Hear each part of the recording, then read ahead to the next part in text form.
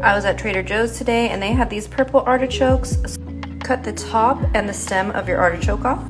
Take a lemon and rub it over the top. That will prevent browning. Take some olive oil and drizzle it over your artichoke. We're gonna be cooking these artichokes in the Instant Pot, so you're gonna wanna arrange them in there. Next, we're gonna work on our stuffing to stuff these artichokes with. Juice of a whole lemon. Add in some Italian style breadcrumbs, garlic powder, salt, pepper, garlic blend, a little bit of lemon pepper, Parmesan cheese. You're gonna need a good amount of olive oil. This is gonna hold it together. Make sure you give everything a good mix. Use your hands and just stuff the artichokes.